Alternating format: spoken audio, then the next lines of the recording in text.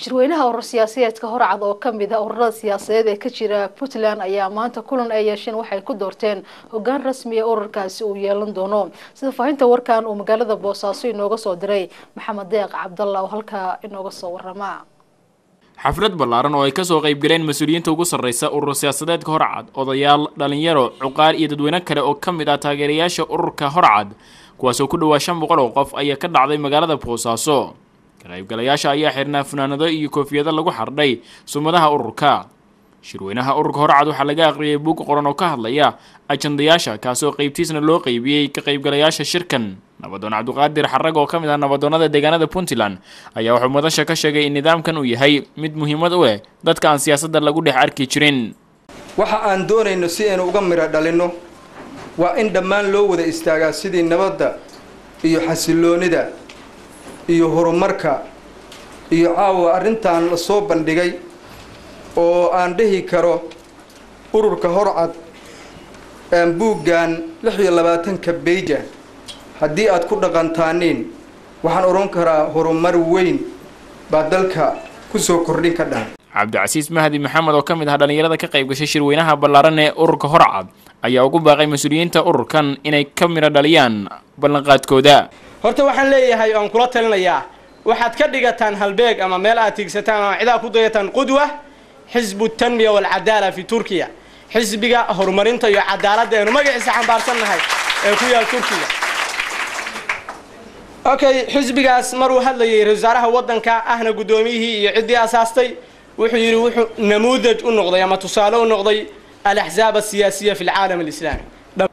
qaar ka mid a dhallinyarada ka qayb gashay munaasabadan oo haween iyo rag bale ayaa iyagana halkaasi ka soo jeediyey tixa sugaana oo ay ku ammaanayaan ururka kulana talinayaan mas'uuliyiinta ururka horcad ee gobollada puntland xafiisyadooda ayaa dhammaantood iyagana ka warbixiyey xaaladda gobollada ay ka yimaadeen xafiisyada ku yaalla iyo tirooyinka dadka iska diiwaangeliyey. Guddoonka sare ee ururka horcad cumar ismaaciil waaberi cabdiqaadir axmed ducaale iyo sayid cali diiriye ayaa dhammaantood qiray in muhiimadda kuwaad siinayaan horumarinta iyo dadku helo cadaalad taasi oo ay dhammaan soo dhoweeyeen taageerayaasha ururka ee ku sugnaa shirweynaha.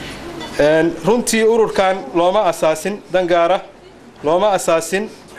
in cid gaari ay dan ku gaarto laakiin waxaa loo asaasay inaan inagoo isku wada jira aynu gaaro danteenna